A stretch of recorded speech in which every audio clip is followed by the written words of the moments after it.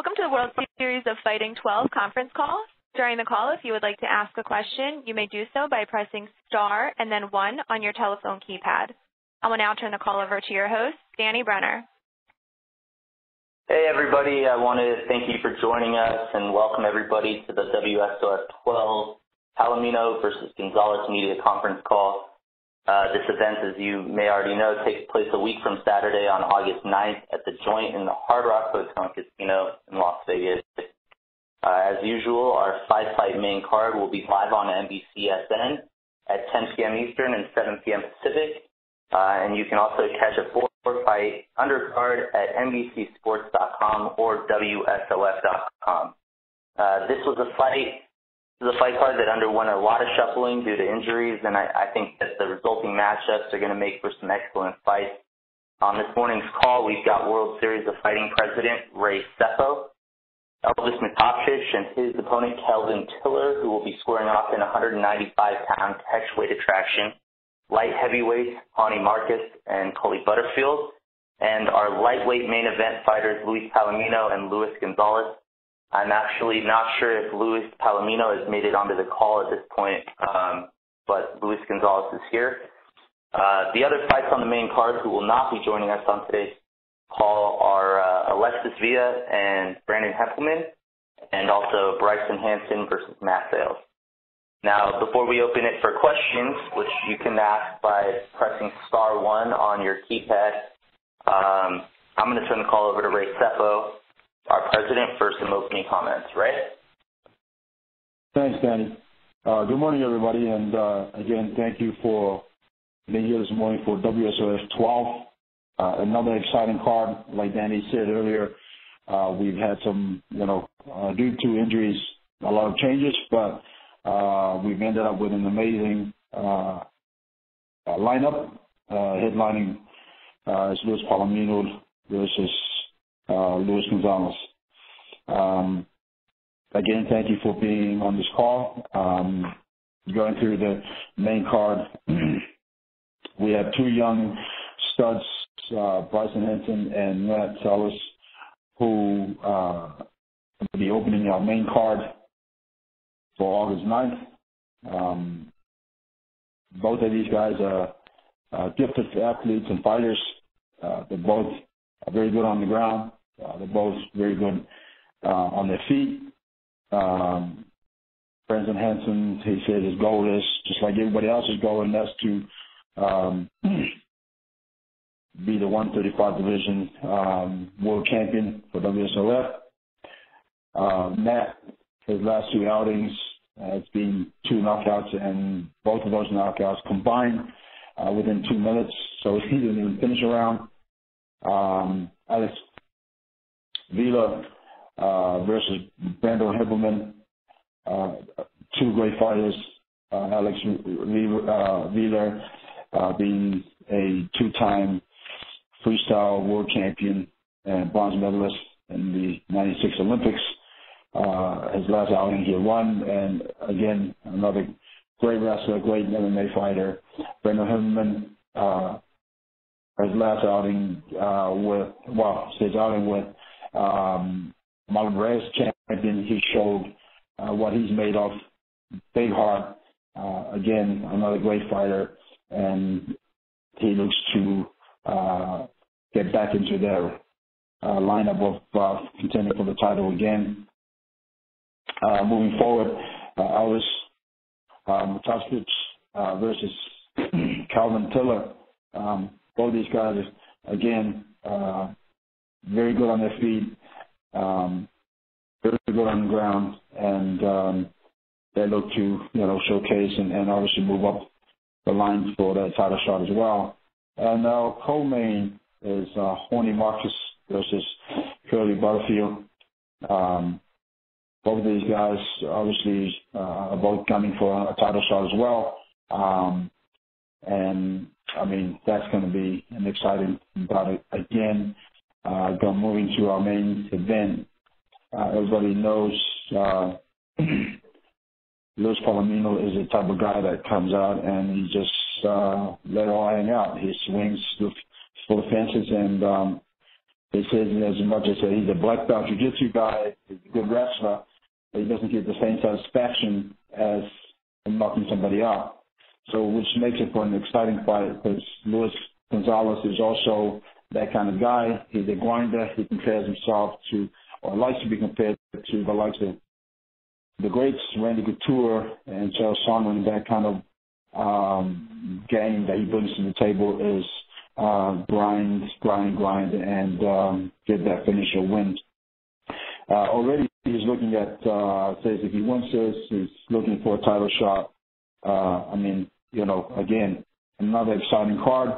I'm excited about it. Um, I hope that uh, you uh, are tuning in, be it uh, the Hard Rock, to uh, view it live and enjoy the show. Uh, in closing, thank you again, everybody. Thank you to NBC, IMG, our partners around the world, uh, our team, my PR staff, our team here at World Series of Fighting, the office, and I'll hand it back to you, Danny. Thank you. Great. Thank you, Ray.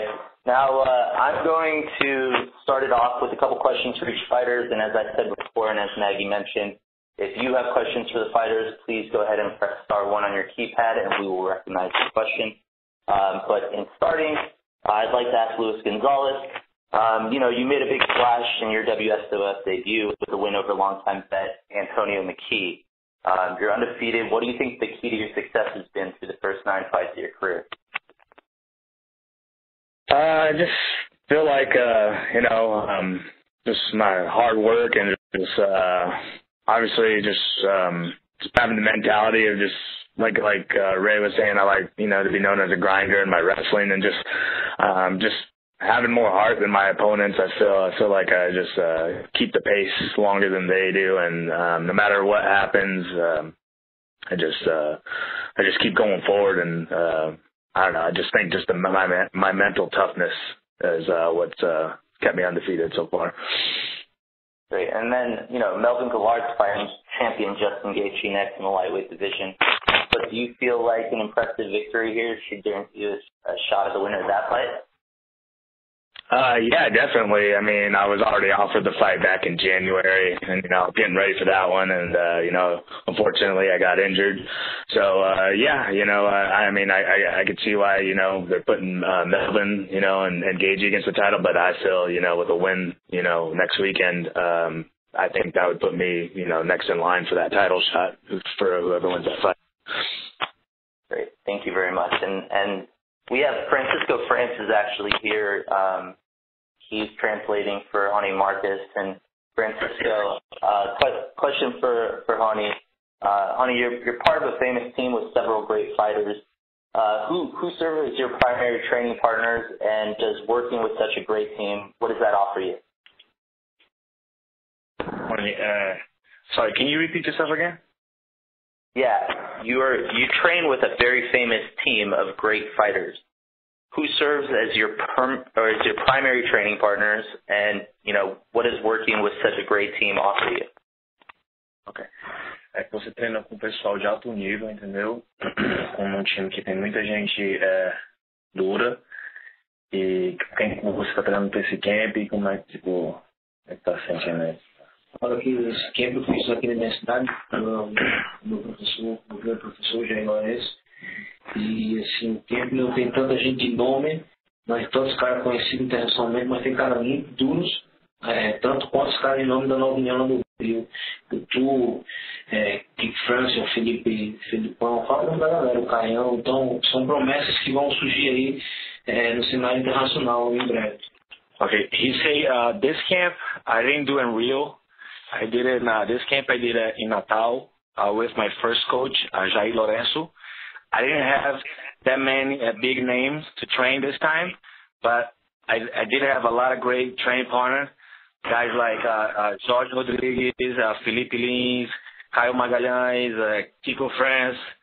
So I, I just I'm feel just great as I, when I'm going and do my training camp in Rio. Awesome. And one more question. Um, you know, you've been through some tough times with this freak car accident. Uh, how important is it, do you feel, to pick up a win right here? é que você nas últimas três lutas teve problema, teve cara acidente. Qual, qual a importância dessa luta para você? Ah, essa luta aí é uma motivação mais para mim poder voltar e dar a volta por, por cima, é, fazer uma grande luta com voltar com vitória para dar um, um, um pontapé inicial novo na carreira e abrir a sequência de longas vitórias. Say he's really motivated for this fight. Uh, he forget about his loss, last loss. He just think about this fight. He think it's a great opportunity for him uh, to put a good fight on this show, a good show, and uh, uh, start winning fights again. That's his goal. Great, thank you. And uh, just wanted to let everybody know that Luis Palomino has joined our call. Uh, Luis, one quick question for you. Uh, you've been fighting professionally since 2006, but fighting for WSOF, that was really the first time you were featured on the national stage. What's the opportunity to fight on such a big platform meant for you? Well, you know, first of all, I'm grateful that, you know, WSOF made me the main event uh, for this uh, WSOF 12. Um, I think it's one, you know, one of the biggest opportunities in my life to show, you know, a greater amount of people know who I am and what I've been doing for the last seven years of my life. You know, I mean, uh, I've been, you know, I've been working my my butt off, you know, for this, and and finally, you know, I get a, a chance to to show, you know, a lot of people, you know, what I've been doing. You know. Great. Moving over to uh, to Markes's opponent, Coley Butterfield. Um, you started out just three and two in your career, but in your last 11 fights, you you went on a tear at 10 and one. What what clicked for you there? What what changed? Um, well, you know, my first couple fights, uh, I was just training out of the wrestling room up where I went to college at Itasca, and uh, I didn't really have any really good coaches. I mean, the guy that was running it pretty much just watched UFC and took uh, advice from them, like you know what happened on the show. So uh, eventually, I moved to Roufusport, and I was training there full time, and that's kind of what it did for me. Uh, the good training, the good coaches. Um, I actually became a full mixed martial artist instead of just a you know a dumb wrestler with no hands. So that's really what uh, made the difference in my game. Great, thank you.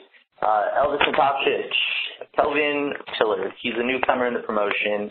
Have you have you been able to study his game in preparation for this fight, and and what have you what have you made of that?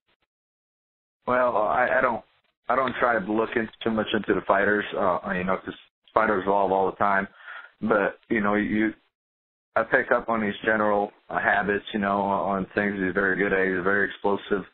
He's young, he's hungry, he's undefeated, you know. And when you got a young and undefeated guy, you know, uh, um, they have a little bit less fear, um, which can be, which is good for them and bad for them at the same time.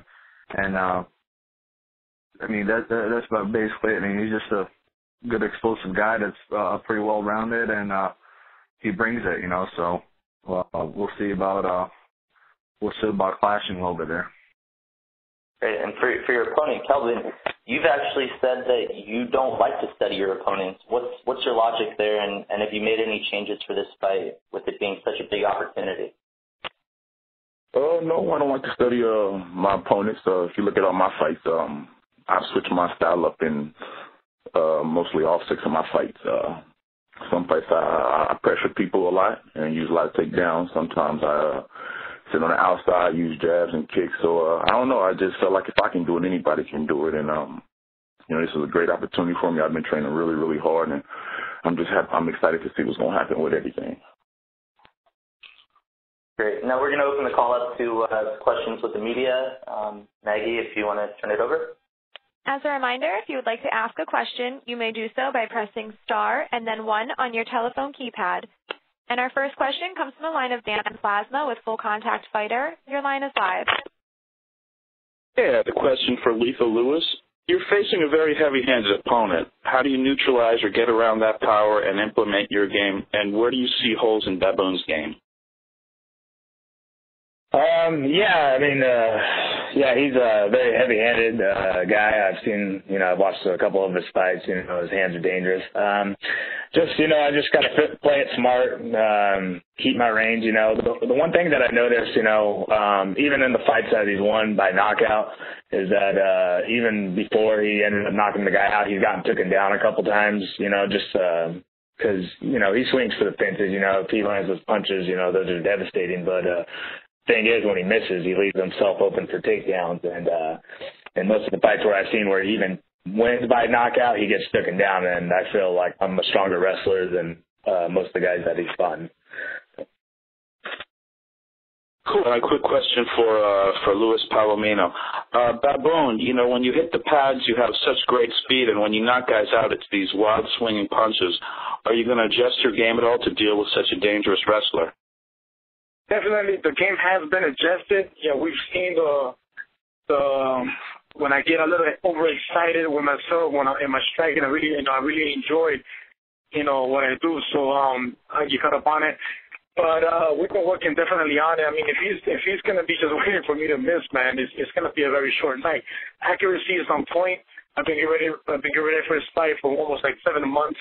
You know, there is no off season for me. I've been getting on this. I've been working on this. You know, ever since my last fight, and uh, the game was only improved. You know, I've been facing wrestlers at the beginning of my career. You know, I've said it once. I said I'll say it again. You know, he, he's he's a talented fighter. I respect him, but he's not bringing anything new to the table. All right. Good luck, gentlemen. Thank you. Yeah. Our next question comes from the line of Heidi Fang with MMA Fight Corner. Your line is live. Hi, uh, thank you for the time. My first question is for Elvis uh, I was wondering, with the loss that you had to Jesse Taylor, what you learned from that and how you changed your approach coming into this fight. Oh, I, made I made few uh, um few mistakes, you know, coming up, leading up to that fight. I changed my style. I changed a few things that worked for me. I put on a little bit too much size. I was there was a lot of lot of mistakes, you know, that I made in that fight and uh, throughout the training camp. Uh, I just didn't have the urgency. I didn't have. Uh, I, I didn't think he would be able to control me the way he did on the ground, and um, I, I learned a lesson the hard way. Um, I uh, I improved my wrestling quite a bit, I believe. Uh, you know, just improved my game all the way around. Uh, and uh, this is the first time in my career that I was uh, I was able to train um, uh, most of the most of the training camp full time, full time without working a full time job. Um, I feel like I, you know with just that right there, I feel like I mean I'm uh, I'm like five years younger. Uh, I just feel like my uh, my will for it and, and uh, gas tank for it is is a lot deeper than it was before, and uh, it's just just fixed the little holes that that, that I that I made in that fight, and uh, I'll go from there. Thank you. And just to follow up, also, how has the change of opponent affected you, if at all? I mean, you're, I guess, the smaller of the fighters coming in, being that Tiller usually fights at light heavyweight. Do you find that to be an advantage or a disadvantage fighting at the catch weight? Well, you know, it's you know, since Tiller was training for a 205 fight and I was, you know, for 185, um, he's going to be, he's probably going to have size on me, which, you know, when I know from personal experience, more size you have on, the faster you start slowing down. I should be the faster fighter. I should be, you know, a guy with, you know, and I'm cutting a lot less weight than he is. So, um, I should have a lot fuller gas tank. Uh, it didn't really affect me greatly. I don't, like I said earlier, I don't I look at some things off, you know, from a fighter, you know, look when I look at her videos, but all in all together, you know, it, it really didn't change my game plan a whole lot. Thank you. And for Luis Gonzalez, how do you feel about putting your undefeated record on the line against a, a veteran of the game? Um, yeah, I mean, it's something different from my last fight. You know, I had another veteran with the same similar record, but, uh, you know, I mean, yeah, I mean, the pressure builds, I think, slowly a little bit every time, especially being on a big stage, you know, just having that zero in the loss column. But once you get in the cage, it all goes away and all, every fight's the same. Once, you know, the, the nerves are up a little bit more, but like I said, once the fight starts and you get in there, it all goes away. So pressure's all off then. And last question is for uh, Ray Cecil, please. Uh, Yushin Okami, I believe, was rumored to fight on this card, but obviously there was the location switch. So I was wondering when fans can expect to see him fight in the World Series of Fighting again. Yeah, yeah, absolutely. Um, uh, Yushin Okami will be uh, fighting October 24th um, um, against uh, David Branch which will be a great fight and uh, another great project to look forward to. Oh, so for, right for the title then. That is correct. Great. Thank you. Our next question comes from the line of Jason Floyd with the MMAReport.com. Your line is live. Yes, uh, my questions will be for both for Ray Sefo. Ray, uh, Gonzalez was supposed to be fighting for the title back in January when you did the inaugural title shot. Is he still fighting for a title shot, and, and does the same kind of play out for uh, Palomino? Absolutely. Uh, you know, obviously that title that title uh, is already been uh, named a, a another opponent, meaning Justin Gaethje will be facing Marvin Guillard. Uh, but absolutely, these two guys uh, again. Uh, Luis Gonzalez was uh, given that opportunity, got injured. Uh, he pulls off a win here, but it goes for both fighters. Uh, whoever wins this fight um, should be in line to fight uh, the winner of uh, Jason Gaethje and Marvin Guillard. One of the hot topics right now, Ray, in, in mixed martial arts is about the enhanced drug testing that is going on. Uh, from your view as a promoter, what what are your thoughts uh, at what you know a state like Nevada is doing with out of competition drug testing? Sorry, uh, ask that question again. What's your thoughts on the out of competition drug testing and the enhanced drug testing that Nevada is doing uh, from a promoter side of things? I, think it's a great thing. I mean, you know, obviously we want to keep the sport clean and we want everybody to compete on the same level and same platform. I mean, it's uh, it's a bit unfair when someone is on something else and somebody is natural. So uh, I think it's a good thing that they uh, really, you know, uh, nailing down and and and doing these drug, drug tests so that uh, the platform is the same for everybody. Cool. Thank you very much. Our next question comes from the line of Caleb Leslie with MMASucka.com. Your line is live. Hi there. Thank you very much for the time. Uh, I wanted to ask Connie uh, about his decision to move back up to 205. What is it that's influenced his decision? Is it a lot to do with missing weight in his last fight and how he feels at the new weight? Connie, uh, hello? Hello, who was that for? Hello? Hello. Who, who was that? Yeah, give me. It was for Frank. Let's for for Ronny Markes. Yeah. Okay, can you can you ask again, please? Sorry, yes, the question for, for Ronny was uh, what, what influenced his decision to move back up to 205? Was it purely to do with missing weight in the last fight, and how does he feel uh, at the new weight the new weight class? Na última luta você não conseguiu bater o peso na 8.4 e agora você vai lutar na 2.05. Como é que você está se sentindo nessa categoria? Muito bem. É, na última luta, infelizmente, teve um imprevisto, não consegui bater o peso. Mas todas as vezes que eu lutei no 8.4, bati o peso e, e bati o peso cinturão, também bater abaixo do limite da categoria. E não entrei na atividade de bater o peso muito, muito forte. Essa semana já estou regrando mais o, o peso para chegar lá na semana Unfortunately, on my last fight, I couldn't make the weight, but uh, to make it 205, it's not going to be hard at all for me. I'm already close to make that weight, so I'm going to be super strong for this fight, and uh, I can't wait. Great, thank you. I just wanted to ask a couple of quick questions to Ray. Uh, Ray, one of the things that people have asked me to, to ask you is about international expansion and getting World Series of Fighting uh, on television in more countries, particularly in the UK. Are there any plans to, to bring World Series of Fighting television to, to the UK in the near future? Uh, yes, that is in the works. Um, uh, you know, right now we're we're live in we're in over 80 countries, but we're live to 40 countries, and delayed uh, I think uh, eight hours or so in the other 40 or so countries.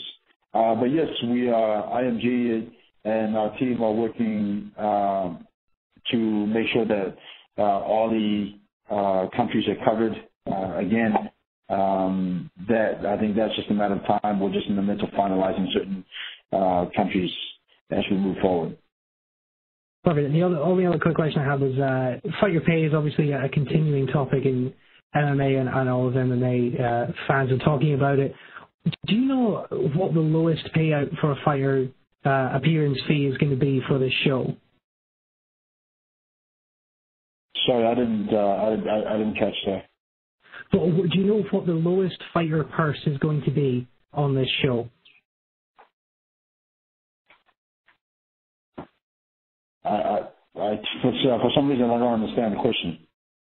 I'm, I'm asking about fighter pay and the and this, the appearance fees, the salaries that you pay to the fighters. What would be the lowest salary paid to a fighter on this card? What is the lowest? Yes. Um, I can't uh, disclose that information. I'm sure you will know that uh, when uh, the time uh, when the actual pay is being released by the commission, I guess. No problem. Thank you very much. Thank you. We have no further questions in queue at this time. I'm sorry, we did just receive one more question from the line of Steven Marrocco with MMAJunkie.com. Your line is live. Hey, Ray. Um, I'm just um, curious as to uh, how you felt about the uh, the last show, your guys' network television debut uh, on NBC. What sort of lessons did you take from that experience, and sort of things that you walked away from it? Uh, you know, ideas that you might improve uh, improve on, or to make the show better and the flow a little bit better. Um, just overall, can you give me your impressions of that that event and what you took away from it? Uh, yes, uh, I, we were. I mean, I was very excited of the outcome of the show. We had an amazing show, uh, and obviously, you know, I think if anything, the credit goes to uh, my team here at World Series of Fighting, from from our PR team to our you know team in the office to our production team to NBC, IMG. I think everybody in a combined effort, everybody put in the work, and uh, uh, the outcome of that was uh, was a great show. So all in all, I was really happy with the the, the whole outcome of the show, and um, you know, obviously moving forward, we continue to learn from the little things that uh, that we need to improve on.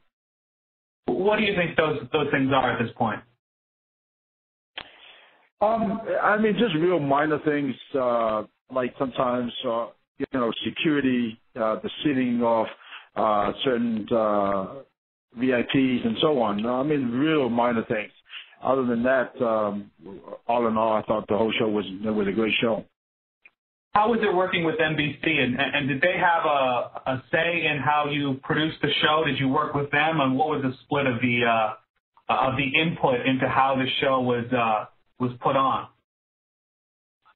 Uh, the, uh, our partnership with NBC is nothing but great. Uh, can't thank them enough uh, again for believing in what we do. Um, uh, Tupelo Honey is our production team that uh, that was also with NBC, have done programming for NBC. So uh, these guys are nothing but the best in the business, and so uh, NBC is very happy with that, and so are we. What did they say about the ratings that you guys drew? I guess you averaged 906,000, which was uh, a, a lot a lot more than, than the average for that time slot. Right, that, that's correct. I mean, they're happy, we're happy, and uh, again, we're moving forward and and uh, continue to get better. Okay, thank you very much. Thank you. And we have no further questions in queue at this time. All right, great. Thank you, everybody. I wanted to thank all the fighters and the media for joining us on this call. Um, once again, the fight takes place a week from Saturday, August 9th at the Joint, the Hard Rock in Las Vegas. Uh, we'll be live on NBCSN at 10 p.m. Eastern, 7 Pacific, um, with uh, four fight undercard on NBCSports.com.